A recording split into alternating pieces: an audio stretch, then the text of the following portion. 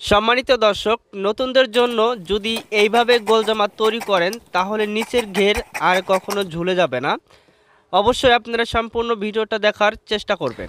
স্ক্রিনে এখন যে মাপটি দেখতেছেন, এই মাপের জন্য এখানে সাড়ে তিন গজ পরিমাণ কাপড় আছে। তো এই সাড়ে তিন গজ পরিমাণ কাপড় থেকে সর্বপ্রথম আমরা হাতা কাটিং করব। হাতার জন্য আপনার কাপড়টা এইভাবে নেবেন।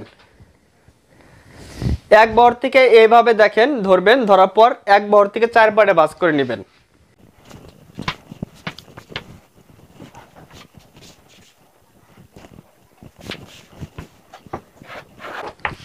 তো দেখেন, এখানে কিন্তু এখন আমার চার পাট কাপড়। যদি কাপড় চার পাট না হয়, তাহলে কিন্তু একটা হাতা বের হবে।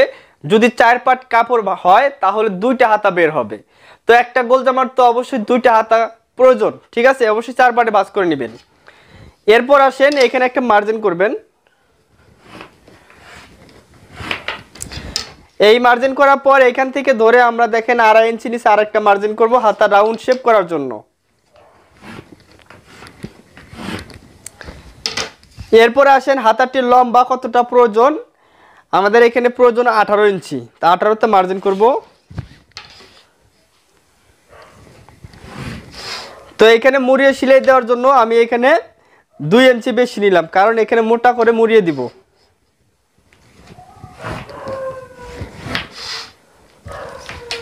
এখন এখান থেকে আমাদের হাতাটির মুখ কত ইঞ্চি সেটা আমরা নিব। হাতাটার মুখ হচ্ছে এগারো ইঞ্চি। তো এগারোকে আমরা দুই ভাগ করে দুইয়ের এক অংশ এখানে নিব, সাড়ে পাঁচ। নেওয়ার পরে সাইডে সেলার জন্য আরও এক ইঞ্চি আমরা বেশি কাপড় নিব। এবার আসি এখান থেকে ধরে হাতার মহড়াটা কার জন্য কতটুকু রাখব? এই হিসাবটা আমরা কীভাবে বের করতে পারব? তবে মনে রাখেন, চল্লিশ থেকে বিয়াল্লিশ ইঞ্চি যাদের বডি হবে, সেটা কামিজ হোক বা গোলজামা হোক বা মেক্সি হোক, সমস্যা নাই যেটাই বানান। চল্লিশ থেকে বিয়াল্লিশ ইঞ্চি যদি বডি দিয়ে তৈরি করেন, তাহলে এই হাতার আর মহলটা কাটিং করবেন আপনারা কত? নয় ইঞ্চি পরিমাণ। সেলাই করার পর আট বা সাড়ে আট থাকলেই হয়ে যাবে। এইখানে দেখেন এই যে নয় ইঞ্চিতে একটা মার্জিন করলাম। সেলাই করার পর কত থাকতেছে? সাড়ে আট ইঞ্চি। তাহলে এখানে মার্জিন করার পর এখান থেকে ধরে আপনাদের শেপ কাট দিয়ে রাউন্ড শেপ করতে হবে।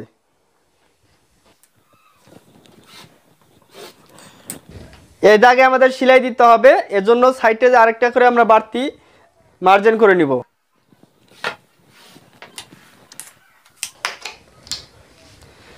এইখান থেকে খুব সুন্দর করে একটা রাউন্ড শেপ করতে হবে। এখন দেখেন কাটিং করে নিব।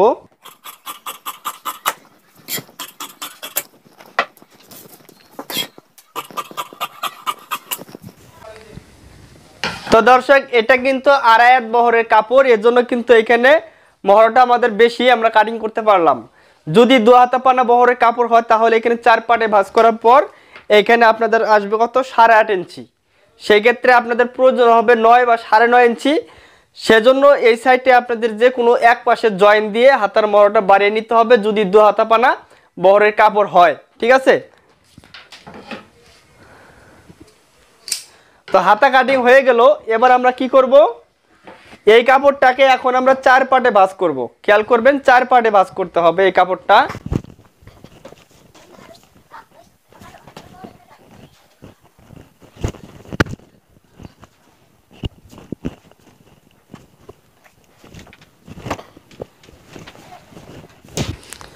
তো দেখলেন, এখানে এখন আমাদের চার পাট কাপড়, এখানে লক্ষ্য করেন, এক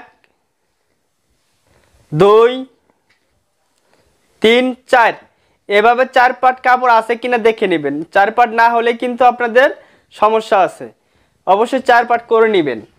এরপরে লক্ষ্য করেন, আমি যে পাশে দাঁড়িয়ে আছি, এ পাশে আটকানো অংশ, আর আমার সামনে আছে খোলা অংশ। এ পাশেও দেখেন খোলা অংশ, ওই পাশে আছে আটকানো অংশ। এভাবে বাসটা রাখার পর এখানে একটা মার্জিন করে নেবেন।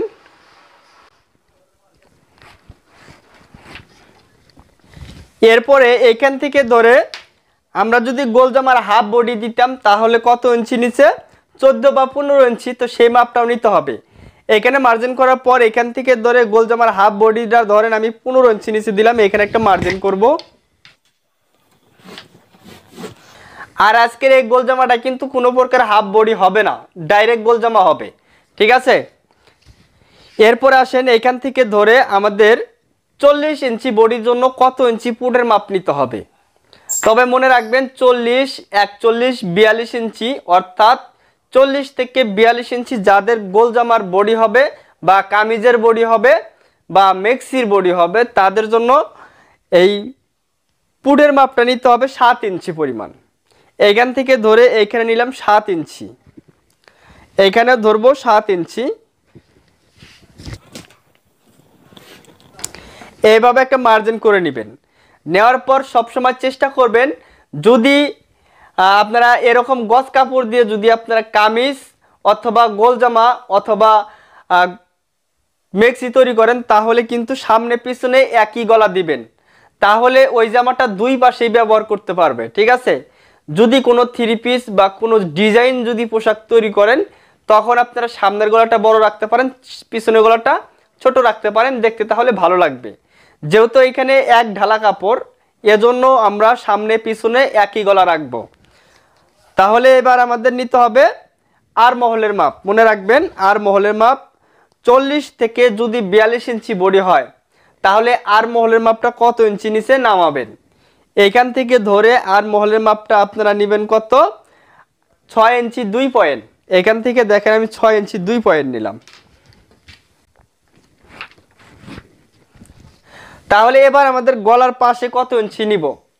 দেখেন, গলার পাশে যদি কাপড়ের উপরে যদি আমরা গলাটা কাটিং করি, তাহলে নিব এক পয়েন্ট কম আড়াই ইঞ্চি।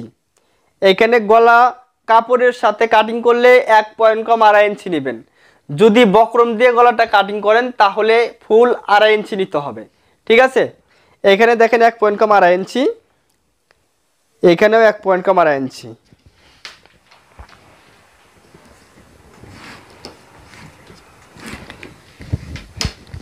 এবার আসেন গলাটা লম্বা, সামনে পিছনে যেহেতু একই মাপ আমাদের রাখতে হবে, এজন্য গলাটা বেশি লম্বা দেওয়া যাবে না। বেশি লম্বাটা দিলে সেলাই করার পর গলাটা আরও বড় হয়ে যাবে।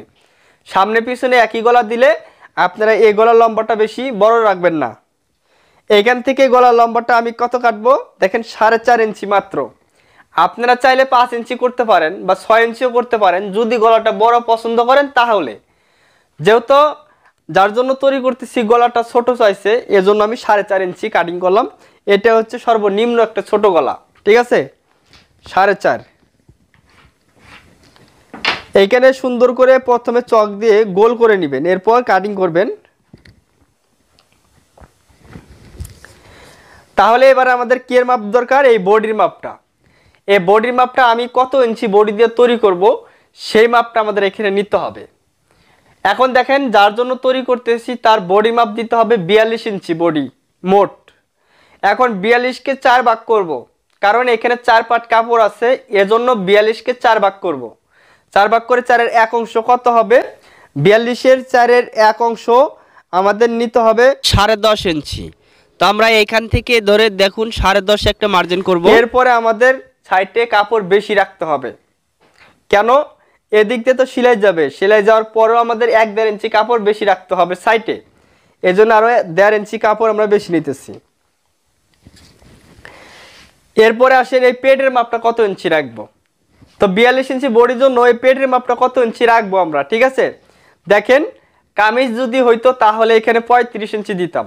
যেহেতু এটা গোল জামা এর জন্য এইখানে আমরা দিব আটত্রিশ ইঞ্চি। তাহলে পেটের মাপটা কত? আটত্রিশ। আটত্রিশকে চার ভাগ করলে চারের এক অংশ সাড়ে নয় ইঞ্চি। এই যে সাড়ে নয় চিহ্ন করবেন, করার পর এখানেও আপনারা এক ইঞ্চি বেশি নেবেন। এখানে এক ইঞ্চি বেশি। নেওয়ার পরে যে শেপগুলো আপনারা এইভাবে টেনে নেবেন। এখন এই হাতার আর মহলের একটা বিষয় আছে। এইভাবে কোনা করে একটা মার্জিন করে নেবেন। যেহেতু এই জামাটা সামনে পিছনে একই গলা রাখব, এজন্য এখানে তালপাট কাটিং করা যাবে না। যদি তালপাট কাটিং না করি, তাহলে এই রাউন্ড শেপটা কীভাবে দেই সেটা খেয়াল করেন। এইখান থেকে ধরে আমরা নিব দেড় ইঞ্চি পরিমাণ। আর এ পাশ থেকে ধরে ফিতাটা এভাবে নিয়ে এখানে একটা মার্জিন করব। করার পর দেখেন, এইভাবে একটা রাউন্ড শেপ করব।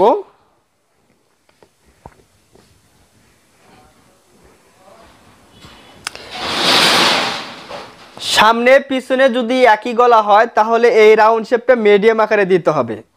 ঠিক আছে? মিডিয়াম আকারে দিতে হবে। যদি সামনে বড় গলা, পিছনে ছোট গলা হয়, তাহলে এই রাউন্ড শেপটা পিছন পাটের একটু এই সাইডে হবে আর সামনের পাটে আর একটু ভিতর দিকে হবে। ঠিক আছে? যদি সামনে তালপাট কাটিং করা হয়, তাহলে এই রাউন্ড শেপটা কিন্তু আলাদাভাবে দিতে হয়। যেহেতু সামনে, পিছনে একই গলা, এজন্য তালপাট কাটিং করব না। এজন্য এই রাউন্ড শেপটা মিডিয়াম আকারে দিয়ে দিলে আমাদের অ্যাকোরেট ইনশাল্লাহ হয়ে যাবে। তো এইভাবে রাউন্ড শেপটা দিয়ে নেবেন। এবার আসেন আমাদের লম্বাটা। এই লম্বাটা আপনারা অনেকে বলেন যে, ভাই, গোল জামার নিচের দিকটা ঝুলে যায় বা সাইড বাঁকা হয়ে যায়, ঠিক আছে? সামনে পিছনে উঁচা নিচা হয়ে যায়। এই যে সমস্যাটা হয়, এই সমস্যাটা কখন হবে? আপনি যদি কোনো গোল জামার ডাবল ঘের দিয়ে যদি তৈরি করেন, এখানে হাফ বডি দেন কাপড়টা যদি এইভাবে সমান অংশ চার পাটে না করে নিয়ে যদি কাপড়টা কোনাকুনি ভাঁজ করেন, তাহলে কিন্তু ওই কোনাকুনি যে ভাঁজটা করবেন, ওই গোল জামাটার মধ্যে নিচের সাইডটা অবশ্যই অবশ্যই ঝুলে যাবে। ঠিক আছে, যদি কাটার একটু কম বেশি হয়, কাটিং যদি ঠিক মতো করতে না পারেন, তাহলে দেখবেন পাঁচ থেকে ছয় ইঞ্চি পর্যন্ত কম বেশি হয়ে যায়। আর যদি কাটিং মাস্টার ভালো হয়, কাটিং যদি ভালো হয়, তাহলে হয়তো দুই তিন ইঞ্চি ছোট বড় হয়। কিন্তু ছোট বড় হবেই, ঠিক আছে? আর আজকে যে গোল জামাটা আমি কাটিং করব, এই গোল জামাটা আর কখনোই ছোট বড় হবে না। কারণ এই গোল জামাটা দেখেন, এখানে কাপড়টা টান দিলে দেখেন একটু বড় হয় না, ঠিক আছে? আর যখন কাপড়টা আমরা এইভাবে উরুপ করে নিতাম, অর্থাৎ কোনাকুনি ভাঁজ করতাম, তখন টান দিলে কিন্তু অনেকটা বড় হয়ে যেত এজন্য যদি আপনারা গোল জামার নিচের ঘের ঝোলা বন্ধ করেন, অর্থাৎ কখনো আর ঝুলে যাবে না, তাহলে আপনারা কাপড় নেবেন, এভাবে একটা ভাঁজ দিবেন এরপরে এভাবে চার পাটে ভাঁজ করে নেবেন। এখানে কিন্তু সমান অংশে চার পাট আছে। এখানে কিন্তু কোনাকুনি ভাঁজ করা যাবে না। কোনাকুনি ভাঁজ করলেই নিচের দিকটা ঝুলে যাবে। আশা করি বুঝতে পারছেন? তাহলে এখান থেকে ঠিক এই যে এখানে ফিতাটা রাখবেন, রাখার পর এখান থেকে ধরে লম্বা নেবেন। লম্বাটা দেখেন আমার পঞ্চাশ ইঞ্চি। এই যে এভাবে ধরে আপনারা এভাবে একটা রাউন্ড শেপ করতে পারেন। অথবা এখানে নেবেন পঞ্চাশ। এখানে ফিতা ঠিক রেখে এখানে শুধু সরাবেন।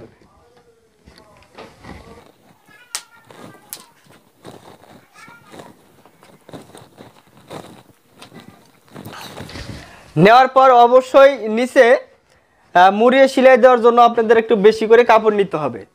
এই নিচে মুড়িয়ে সেলাই দেওয়ার জন্য আরও এক ইঞ্চি কাপড় আপনার এক্সট্রা নেবে এরপরে আসেন এই গোল জামার যে ঘেরটা, এই ঘেরটা কতটুকু আসবে এই কাপড়ে? যেহেতু এখানে আমরা ডাবল ঘের দিব না, এটাকে সিঙ্গেল ঘের বলা হয়, ঠিক আছে? তো যদি দু হাতা পানা বহরের কাপড় নেন, তাহলে ঘেরটা একটু কম হবে। যদি আড়াই হাত বহরের কাপড় নেন, তাহলে ঘেরটা আপনার বেশি হবে। আর অবশ্যই এই সাইটে লম্বালম্বি একটা জয়েন্ট দিতে হবে। এই জয়েন্টটা মোটামুটি পাঁচ, ছয় ইঞ্চি জয়েন্ট দিলে হবে, চার থেকে পাঁচ ইঞ্চি জয়েন্ট দিলে মোটামুটি ঘেরটা আর কি মোটামুটি ভালো ঘের আসবে, ঠিক আছে? এখন দেখেন, এই গোল জামাটার এখানেও কিন্তু আমরা একটু জয়েন্ট দিয়ে নিব। তো কত ইঞ্চি জয়েন্টটা দিব? আমরা এই হিসাবটা দেখেন, এইখান থেকে ধরে আমরা পনেরো ইঞ্চি উপরে একটা মার্জিন করব। এই নিচ থেকে এই যে এখানে যে মার্জিনটা দিচ্ছি মার্জিন থেকে ধরে পনেরো ইঞ্চি নিচে উপরে একটা চিহ্ন করবেন। করার পর এই যে শেপ কাট দিয়ে আপনারা শেপ কাটটা এইভাবে ধরবেন। দেখেন এইভাবে ধরে মার্জিন দিবেন। তাহলে দর্শক বলতে পারেন যে এই সাইটের জয়েন্টটা কোথার থেকে পাবো? এই সাইটের যে জয়েন্টটা এই জয়েন্টটা কিন্তু আমাদের এই যে কাপড়টা যে বের হবে, এই কাপড়টা দিয়ে আমরা এই সাইটের জয়েন্টটা দিব। আর হাতার জন্য কিন্তু এর জন্য আমরা সাইড থেকে আগে হাতার কাপড়টা বের করে নিছি। যদি আমরা কামিজ কাটিং করতাম, তাহলে এই সাইড থেকে যে কাপড়টা বের হইতো, এটা দিয়ে আমরা হাতা কাটিং করতাম। যেহেতু আমরা গোল জামা কাটিং করব, এজন্য এই সাইডের কাপড়টা দিয়ে হাতা তৈরি করা যায় না। এই সাইডের কাপড়টা দিয়ে এই সাইডে জয়েন দিতে হয়। এজন্য অবশ্যই যদি গোল জামা তৈরি করেন, গোল জামার লম্বা যতটুকু হবে এবং হাতার লম্বা যতটুকু হবে, সেইটা হিসাব করে আপনাকে ডাবল করে কাপড় নিতে হবে। ঠিক আছে? এখন দেখেন আমি কাটিং করে নিব।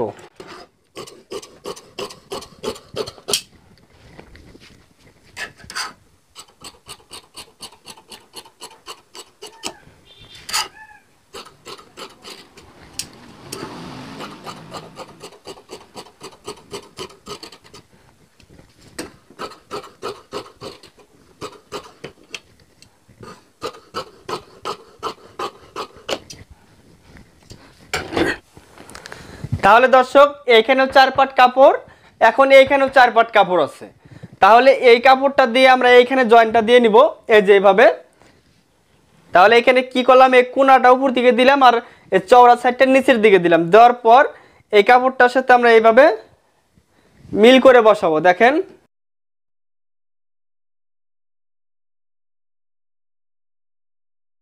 মিল করে বসানোর পর এইখান থেকে ধরে আবারও এই কোনায় একটা মাপ দিবেন।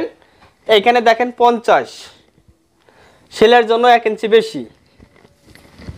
এইখান থেকে ধরে এইভাবে মার্জিনটা করে নেবেন।